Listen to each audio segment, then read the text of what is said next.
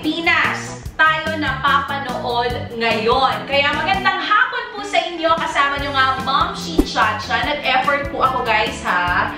Tignan nyo naman, nag-effort ako. Nag-makeup pa ako para sa live na to, pero magluluto lang tayo.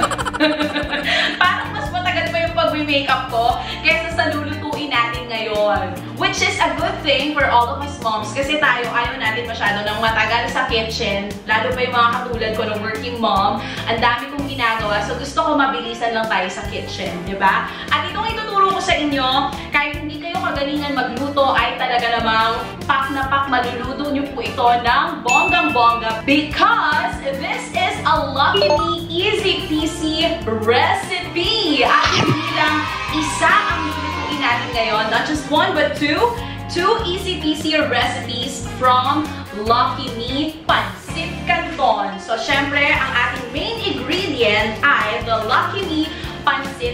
Canton. Okay, gusto ko lang sabihin sa inyo na talagang tayong mga Pilipino, ang hilig talaga natin kumain ng Pansit Canton. Especially ako, pag nagdi-Netflix. Tapos try nyo mag-Pansit Canton ng madaling araw, mas may kakaiba pa siyang sarap. So, hindi ko pa nasasabi sa inyo kung ano ang pangalan ng lulutuin natin ngayon. Ano bang recipe ito? Alam na natin na may Pansit Canton siya. Pero, ang tawag sa kanya ay Lucky Pansit Canton Garlic Butter. Kailangan natin guys ng Me Original Pansit Canton. At ito pa yung ibang mga ingredients na kailangan natin. Kailangan din po natin ng 2 cups of water. So, kailangan din natin ng egg. Kailangan din po natin dito ng oil. And of course, kailangan din natin dito ng garlic. O, di ba, mga moms, mga ate at ang dali-dali lang. Ang konti lang ng ingredients natin. Ganun lang siya kakakonte. Kasi nga, easy-peasy recipe ito. Kaya naman, ayoko nang patagalin pa ito. Let's start cooking. So, mga moms, mga ate at kuya, simulan na nga po natin ang ating pagluluto. Dahil kailangan nating prituhin ang ating garlic, ito na muna yung uunahin ko. So, the reason why we're guys, is because gusto namin na yung paborito mong Lucky Me Pancit Canton ay lagyan natin ng twist, okay? Dahil masarap na siya, mas pasarapin pa natin siya.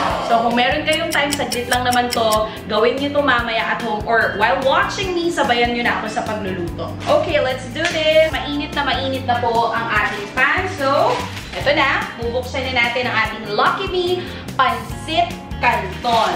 By the way, 2 minutes po natin pakukuluan ang ating Lucky Me Pansit Canton Noodles. Okay, habang inaantay natin ang ating Lucky Me Pansit Canton, this time ang gagawin naman po natin, mga ka-pure gold, mga moms, mga te at kuya, ay i-fry na natin ang ating garlic dito sa ating isa pang pan. Actually, pwede kayo maglagay ng as many garlic as you like. Kasi ako, parang feeling ko, lahat ng food din nalagyan ko talaga ng garlic. Super sarap siya. Pero syempre, dadayat-dayat lang tayo ng very, very light. Mga ka-pure gold at mga moms, kaya naman dapat na yung sakto lang. Actually, ngayon pwede na natin i-add to. So, dahil may lulutuin pa tayo sa mamaya, ito tayo ng konti. No? Haluin nyo lang yan, mga moms, yung garlic nyo. Pwede na akong kumanta ngayon habang hinahalo ko itong garlic na to hanggang sa maging golden brown. Or yung tostado. Ginagamit lang natin yung mga words na ginagamit ng mga chef natin. Pero again, pag uh, pag natustado na yan, huwag naman sobra ha, huwag sunugin ng sobra. Pwede na nating hanguin yan at ihalo dito sa ating Lucky Me Pansit Canton. So, balikan natin ngayon ang ating Lucky Me Pansit Canton. You can see, malambot na siya agad. Super bilis talaga niya maluto. So, guys, be careful. Ayan o, malambot na siya. Super lambot na niya. Ngayon, ilalagay na natin yung ating seasoning. Since 2-pack to, lagay natin lahat ng seasoning. 2 80-gram pack ng Lucky Me Pansit Canton. So, yan. Ako talagang, nako, sinusulit ko yung seasoning. Ang sarap ng seasoning ng Lucky Me Pansit Canton. So talagang sinisimot ko siya. Sayang. Sayang. Halu-haluin. Siyempre, huwag kalimutang haluin. At haluin ang haluin ang haluin. Ayan, nag-evaporate na yung water. Naku, yung mga live viewers natin, hindi ko tuloy mabate. Pero salamat po sa mga pagko-comment nyo. Ayan na, nag-golden brown na siya. So, pwede-pwede na natin itong hanguin. In siguro mga 3 minutes, itong ating garlic. Ayun nga, as I was saying, pasensya na kayo at hindi ko kayo mabate. Bilang busy-busy ako sa kusina. Diba? Judy Ann Santos is shaking. Tsaka! Ako siya bilang chef.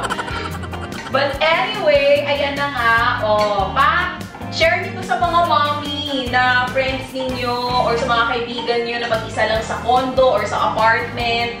Ayan, eto nga ang Lucky Me Pancit Canton with a twist. So guys, eto na nga yung uh, garlic natin. As you can see, um, tostado na siya, di ba? Pero hindi sobra, not too much. And dito sa pan na to mismo, kung saan ko niluto yung butter and yung garlic, dito ko lulutuin yung ating egg. You know why? Para mas malasa. Pwede kayo maglagay ng as many eggs as you like. Kahit pa 52 eggs yan. Charot lang, wag 52 eggs. So ngayon, kahit isang egg lang tayo. Okay? So, ito na. Prituhin natin ang ating egg. Oh my gosh, kung ako ipahiya sa mga live viewers. Mabuto ka. Okay, medyo inaan natin itong ating kumukulong pan ng Lucky Me dahil para hindi ma-overcook yung ating... Ay, super ganda na niya! Ito na yun. Ito na yung hinahanap natin, yung mag-evaporate talaga.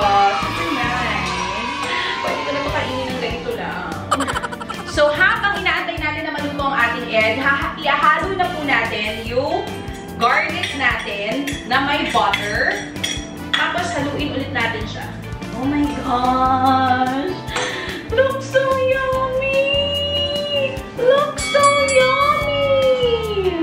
So, ito na nga, para talagang mas masarap ang kain ni Mom si Chacha at ng iba pang kakain itong niluto ko. Ilagay na natin siya dito sa ating plato. Gosh, ang sarap ang bango! Hindi lang siya mukhang masarap, damang-dama ko sa amoy pa lang, super sarap na nito. So, are you ready to eat with me bago tayo mag-proceed sa ating recipe number 2? Tikman na natin. Pero para mas bongga, lagyan pa natin ng konting spring onions.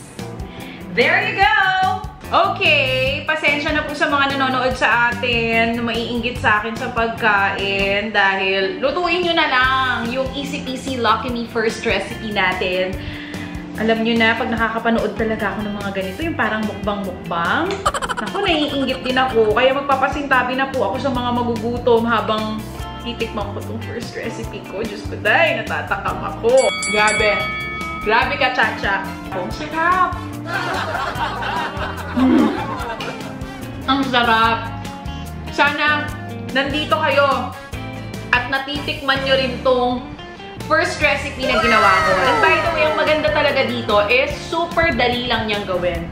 Anyway, bago ko pa maubos itong niluto ko mismo, siguro mas maganda na itry nyo na lang yan sa inyong mga bahay, sa lahat po ng mga nanonood sa atin ngayon. And let me know kung nasarapan ka ba at nasarapan ang buong pamilya mo. Basta ako, sure na sure ako na talagang mas mamahalin ka ng asawa mo ate at hindi ka iiwan ng boyfriend mo ate girl kapag natikman niya itong easy peasy Lucky Me Pansit Canton recipe natin. So dahil tapos na tayo sa Lucky Me Pansit Canton Garlic Butter, let us now move on to our second recipe.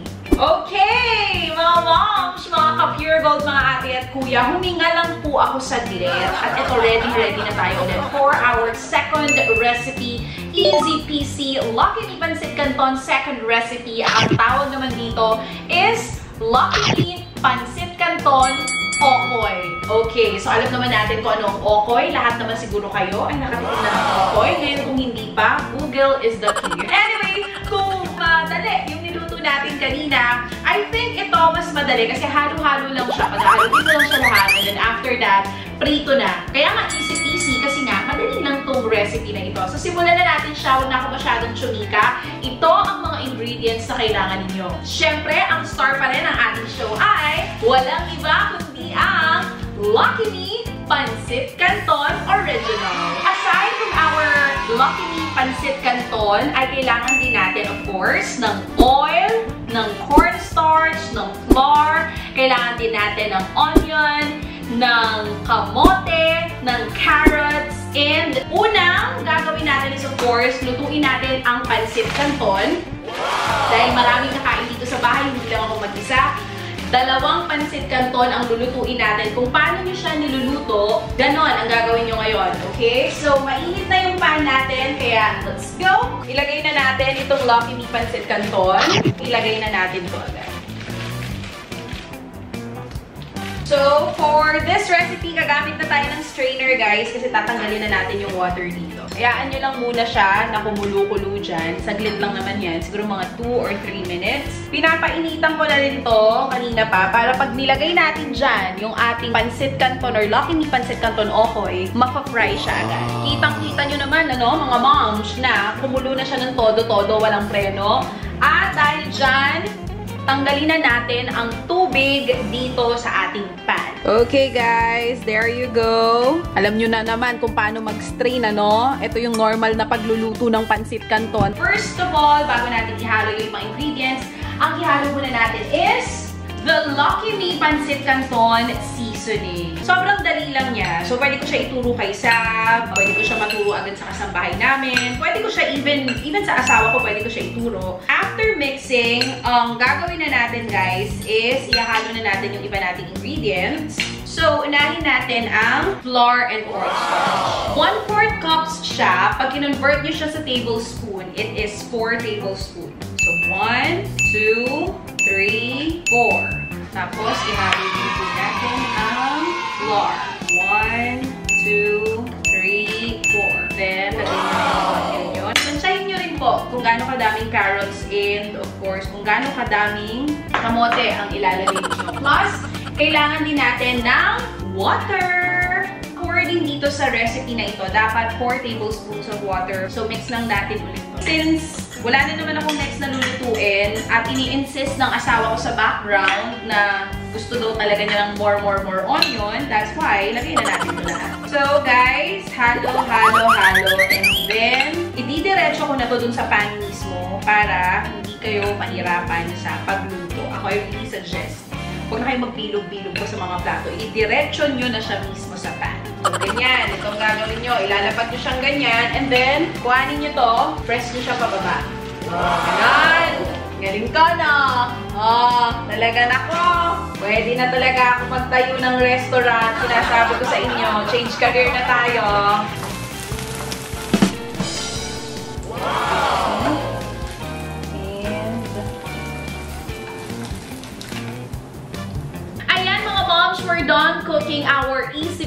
Peasy Lucky Me Pancit Canton Okoy. Pero, pero, pero, bago natin siya tikman, tignan nyo muna yung itsura.